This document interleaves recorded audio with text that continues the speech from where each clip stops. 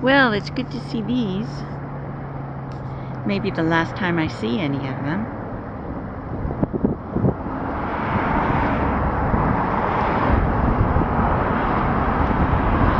The BLM is doing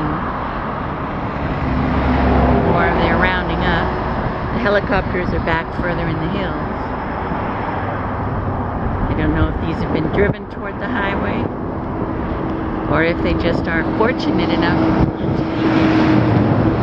by the highway. Because the helicopters won't terrorize them near a highway. Because they'll be hit by cars and people might have to pay money on their car insurance.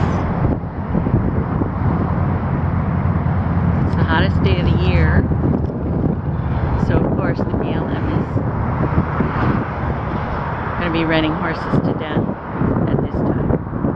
Why not? It'll save them the money of having to kill them on purpose.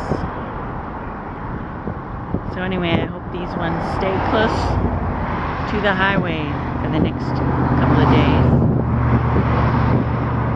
BLM roundups are going to continue through Friday.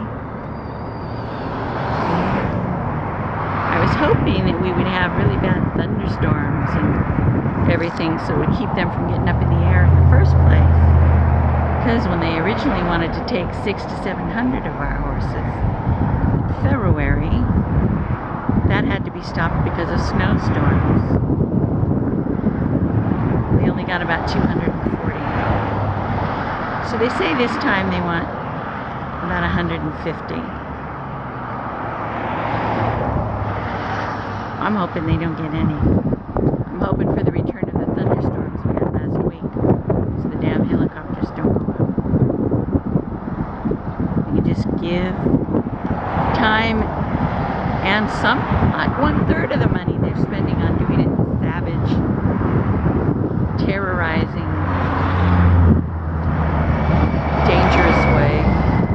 If they would just let the public organizations, volunteer money, volunteer times, continue to dart them with contraception to manage the herds. That would be a much more humane, less expensive way to manage the herds. But, you know, that's not how our government does things.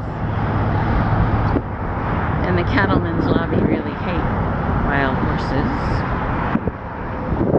And cattlemen lobbies have a lot more money than wild horse protection lobbies. So these are some of my pretty neighbors. that I've met.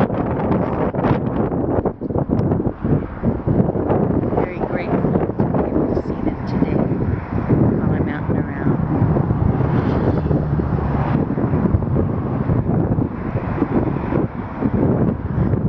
Here next week.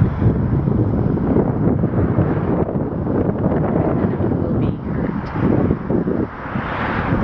Lie in agony for hours before they come and shoot you.